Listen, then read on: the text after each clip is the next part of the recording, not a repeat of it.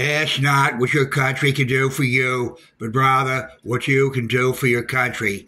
Uh, uh, this is your uh, ex-president twice impeached, uh, convicted felon, uh, and all the other stuff. The the fake news is trying to pin on me. Uh, oh, uh, ask not what your country can do for you, but what you can do for me. Himalaya,